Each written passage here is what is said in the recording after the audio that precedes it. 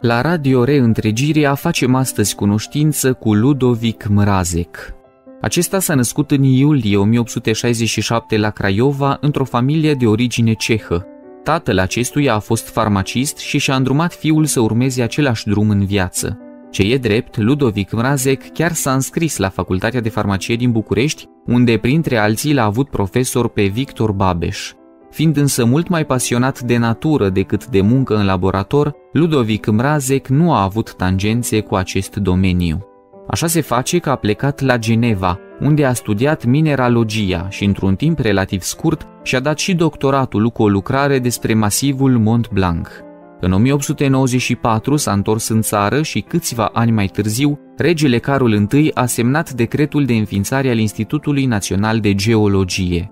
Acesta funcționa în actuala clădire a Muzeului de Geologie și primul director al institutului a fost Ludovic Mrazek.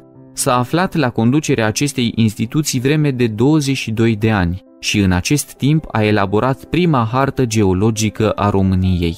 Conform cutumelor vremii, Mrazek a și locuit în sediul institutului de care se ocupa. Ca o curiozitate, într-o vreme a fost vecin cu Grigore Antipa, care locuia peste drum, la Muzeul de Istorie Naturală.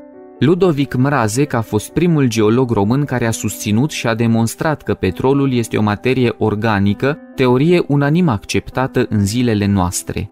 A identificat cele mai multe zone bogate în hidrocarburi și mulțumită acestora România avea să devină un mare producător de petrol și carburanți.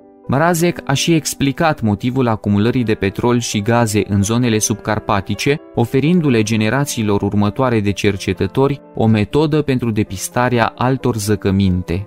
Alături de membrii echipei sale, Ludovic Mrazek a elaborat în 1919 lucrarea Problema petrolului în România față în față cu problema mondială a fost prezentată Guvernului României și peste câțiva ani lucrarea avea să fie transpusă în legea minelor. Așadar, sistemul de revedențe petroliere al României îi se datorează într-o bună măsură lui Ludovic Mrazek. Vreme de trei ani, acesta a fost și președinte al Academiei Române și pentru o scurtă perioadă de timp a ocupat și funcția de ministru al comerțului și industriilor. Ludovic Mrazek s-a stins din viață în iunie 1944 la București, pe când avea 77 de ani.